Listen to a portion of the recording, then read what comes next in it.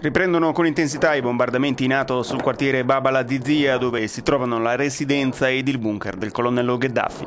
Se nella giornata di ieri la situazione era stata più tranquilla rispetto a lunedì notte, i caccia britannici e francesi continuano ora a sorvolare la città, ma ieri è stata anche la giornata in cui le truppe fedeli a Rais hanno sferrato un nuovo, duro attacco contro la città di Misurata, 200 km a est di Tripoli. Almeno sette ribelli sono rimasti uccisi nell'offensiva dell'esercito lealista, una quarantina di feriti, alcuni versano in gravi condizioni.